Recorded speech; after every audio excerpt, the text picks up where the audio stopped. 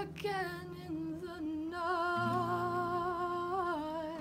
there's snakes writhing underneath.